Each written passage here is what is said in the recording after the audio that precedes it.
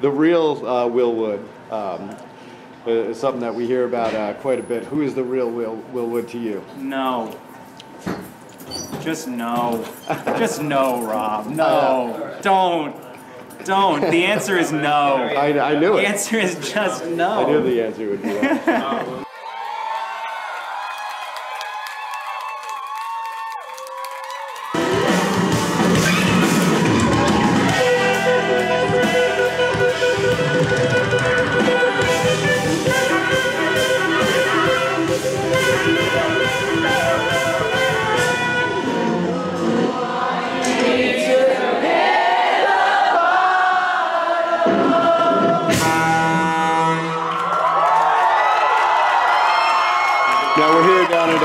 Roxy and Duke's, Dunellen, New Jersey. Uh, tonight we got a show going on, and uh, it's a benefit.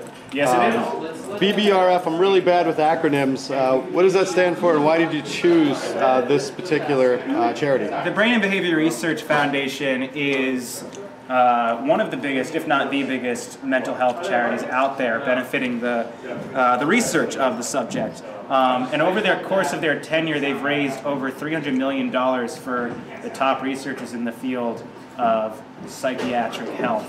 And uh, it's important to me because I think that, I mean, almost everybody, if not actually everybody, either knows someone or is someone who has dealt with mental illness or some kind of mental health disorder. And so I think it's really important that we address not only the, the, uh, uh, the stigma against psychiatric illness, but also, um, oh, I don't know. It's kind of, I guess it's, it's just a matter of, I think that, um,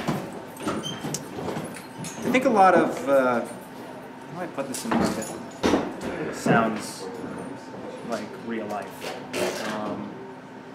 Sorry, I'm drawing a blank right now. I mean, it's because I care about it. It's because I myself have been diagnosed with a slew of things, acronyms, and fun little titles that I can give myself. You know, OCD, BPD, ADHD, GAD. You know, um, and it's. Uh, don't know. It's, it's something that affects everyone, so I guess Yeah. I, I care about it because it affects me a lot, and I have been very, very crazy in my day. And if it weren't for God bless Lamictal, Lamictal, I uh, might still be crazy.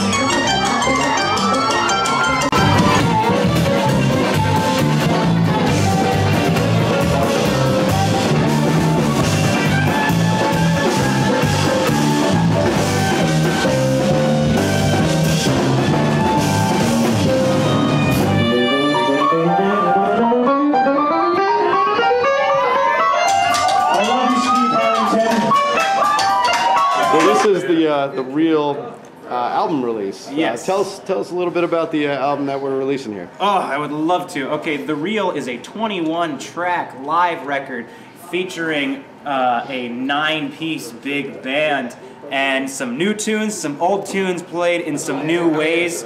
And um, it was recorded at a couple of sold out shows uh, last year, and uh, it's so big that it can't all fit on the CD. Um, so a few tunes that are brand new are going to be only available online, and the rest is going to be available on CD um, and online, obviously. Um, but anywhere music is sold or streamed or downloaded, it's Spotify, iTunes, all that jazz. Um, so I am really excited about it because I I've been told before that my that my performances, you know, it's that my music is something to be seen live. That you know, it's it's I'm, I'm best live, and um, I figured you know it'd be a good thing to share that with people then people who couldn't otherwise make it to a show because we've been trapped on the East Coast for so long, and. Um, uh, I've, you know, I have a problem with concerts. I always say I hate concerts and I like shows because concerts are fucking boring. They just are. If I wanted to like just listen to a band play an album, I'd pop in my earbuds and listen to it on my phone and not spend sixty dollars to go to a big room with a bunch of loud drunk people and stand all night. Um, and so they have to be offering something that's totally different. Otherwise, I don't want anything to do with it. So it's always been really important to me to try and make sure that my live performances are different from my studio recordings. That there's a difference between a movie and a play, uh, a record and a live performance. And because you might be telling the same story in the movie as you are in the play, but it's got to be a very different experience, it's direct, more direct experience. And but if you're just going to see this band and they're just mimicking what's on the record, ah, I've seen it before. I saw some independent theater do a production of Sweeney Todd, and the whole thing was a Tim Burton ripoff, and I was like, I've seen this before. Right. Um, and so. Uh, I guess uh, it's, it's a matter of trying to capture that a little bit and try and share with people, hey, this is a different thing. It's going to be a different time, uh, thing every time. I want to give people the experience of what it's like to actually kind of be at uh, one of our shows a little bit. Um, Absolutely. And I've had the pleasure to see you live uh, at least once before, and uh, I would definitely agree with that. thank you. Um, I, I try anyway. Yeah, absolutely. Here, Uh-oh. So we're gonna do something uh, that's never been done. I, I don't wear makeup too often. No? Be surprised. Television appearances, maybe. You would look beautiful with uh, like a dark, like eggplant colored lipstick. Where do I get off being so goddamn beautiful? I, uh, I don't know. But I think it's unfair of you to give.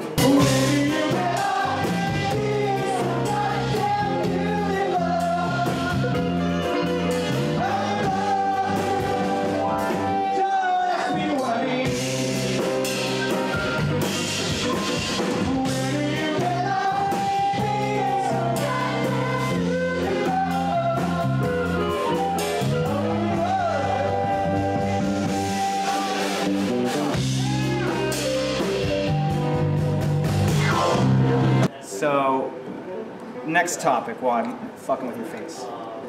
Well, I mean, I like to just uh, do like conversational pieces. So, I mean, really, what's on your mind? Um, this mostly. I'm stressed out. Uh, all I do is sit in my office um, a couple miles from the BL England uh, refinery um, in uh, Egg Harbor, New Jersey. Um, this beautiful uh, coal refinery with a, uh, a sulfur scrub, scrubber uh, disguised as a lighthouse. Um, it's a bad disguise because the whole town 10 mile radius around it reeks of rotten eggs, you know, the smell of sulfur. Right, right. Um, so I've locked myself in this sulfur stink hotel where uh, I sit at a computer and send out emails and respond to emails and send out emails pretty much a good 12 hours of every day. Um, not interacting with the outside world at all. Uh, and chugging iced coffee. Um, and it's, uh, it's a nice life. I'm a raging workaholic. It keeps the thoughts at bay. As long as I keep thinking about emails, I don't have to worry about the real world. You know, like a Trump voter. Right. So, um, what are emails? Um, so, uh, yeah, that's what I've been doing recently. Well, you really do. Uh, I mean, you're a do-it-yourself uh, sort of guy, right? You don't have anybody else really. I mean. I've I've got a booking agent, but I try to do as much as I can myself, just because I I enjoy it, um, and also that way I don't have to share as much money with people. That's a good point. Now, I mean, for um, you know other upcoming acts and other bands that are out there, uh, what would you say? Is that the approach to take? You think? Yes, absolutely. You can't sit around waiting for somebody to scoop you up and whisk you away, take you off your feet, and take you to Hollywood. You know, uh, as much as I wish that were the case, and I grew up dreaming of the day that some super big wig hotshot would show up at the bitter end in New York City and sign me on the spot. Oh, Will, someday you're gonna be discovered. You don't get discovered anymore. Right. You know, that's not how it works. Nobody's nobody's uh, you know getting their start at the sidewalk in Greenwich Village because some like, record executive A or A and R guy just stumbled into the open mic one day. No fucking way. Um, it's all uh, you know. So if you sit around waiting for like this perfect thing to happen and the possible to happen, nothing's gonna happen. You know, it's better to uh, risk making something that sucks happen than not making anything happen. And that's I think been like kind of the uh, cornerstone of my entire uh, career so far has been okay. Um, I'm gonna hope it doesn't suck and make something. Um, And be willing to let it suck. Well, thank you. it's, Um, it's amazing. Thank you. Um, yeah, that's what it's. That's, I think it's really important to take the risk of doing something you don't know how to do and doing it wrong than it is to wait and hope for somebody else to teach you how to do it. Because nobody will unless you can do it yourself first. You know what I mean? Um, so I think that the that uh, taking a DIY approach is really important. And destroying his face. It's- I've ruined going it. happen. It was perfectly good before, and now he looks like garbage. Well, the first You time look I- like a cannibal from space. That's right, Space Cannibals. Probably a B movie out there somewhere. Oh, certain of it.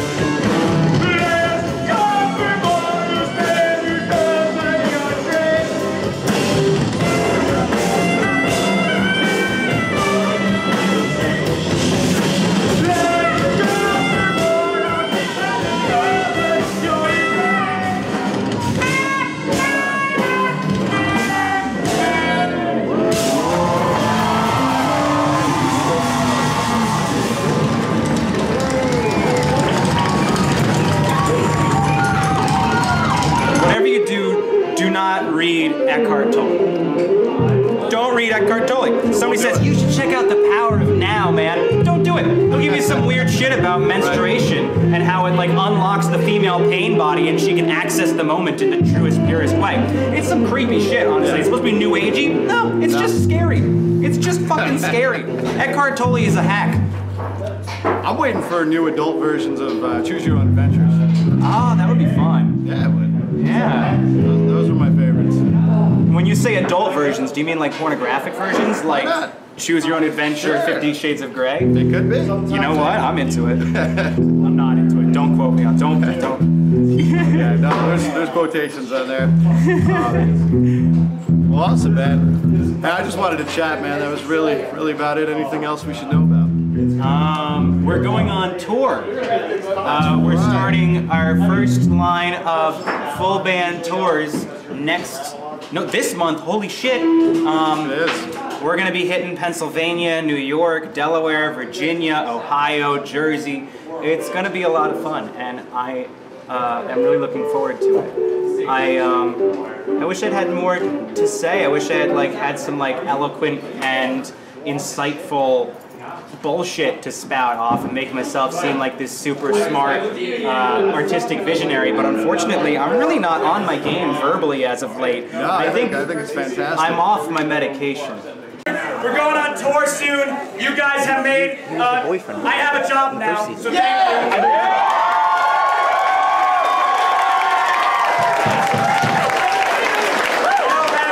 How earlier on I was saying that you people have saved me from self-destruction. You've also saved me from Macy's.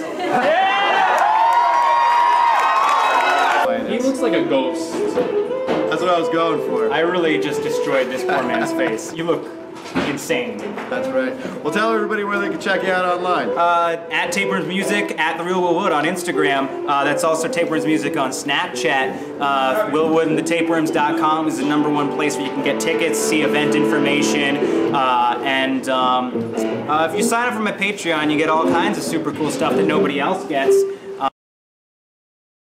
Uh, which is pretty neat. Um, and uh, yeah, facebook.com slash The turn,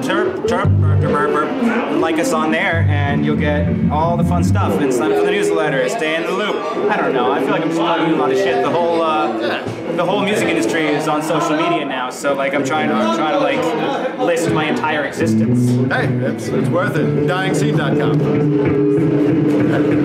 Thank you so much. Yeah, of course, dude. Awesome. I gotta check out my face. Yeah, you do. and gonna then you need go to wash it off. There's just like a big dick on your forehead. Is We're just kidding. There is. It's, That's that. Yeah, that's happened once. once?